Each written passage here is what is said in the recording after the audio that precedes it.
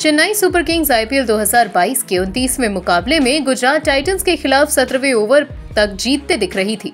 लेकिन हार्दिक पांड्या की खैर मौजूदगी में कप्तानी करने वाले राशिद खान ने अचानक गियर बदला और डेथ स्पेशलिस्ट कहे जाने वाले क्रिस जॉर्डन को तीन छक्के और एक चौका उड़ाते हुए मैच का रुखी पलट दिया। उन्होंने महज 21 गेंदों में 40 रन ठोके और गेम चेंजर की भूमिका निभाई। राशिद ने अहम मौके पर खेली गई इस पारी के दौरान तीन छक्के और दो चौके लगाते हुए टीम को तीन विकेट से जीत दिला दी।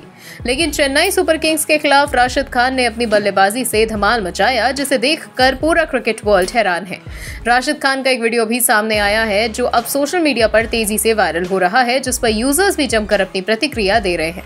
दरअसल, राशिद खान ने इक्कीस गेंद पर चालीस रन की पारी खेली, जिसमें दो चौके और तीन छक्के शामिल रहे।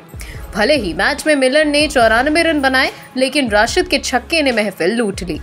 खास तौर पर क्रिस जॉर्डन के ओवर में राशिद के बल्ले से ऐसे ऐसे शॉट निकले जिसको देखकर हरभजन सिंह भी बात करने से पीछे नहीं रहे।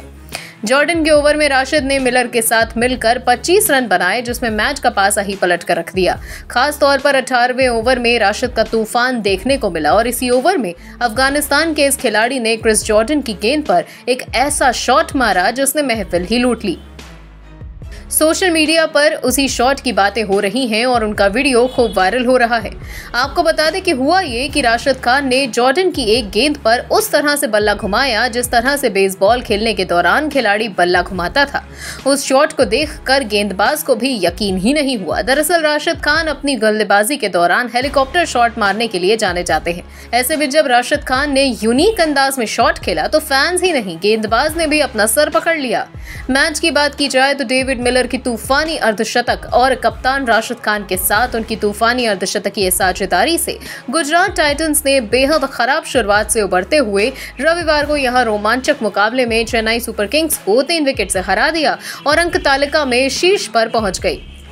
सुपर किंग्स के 170 रन के लक्ष्य का पीछा करते हुए टाइटंस ने 16 रन पर तीन विकेट गवा दिए थे, लेकिन डेविड मिलर ने इक्यावन गेंद में आठ चौके और साथ ही छह छक्कों की मदद से नाबाद चौरानबे रन की पारी खेली।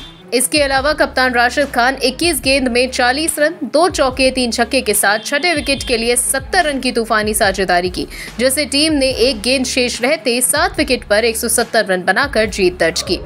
हमारा ये वीडियो आपको कैसा लगा? अपने विचार हमें नीचे कमेंट सेक्शन में ज़रूर बताइए और बाकी के अपडेट्स के लिए देखते रहिए माई स्पोर्ट्स टाइम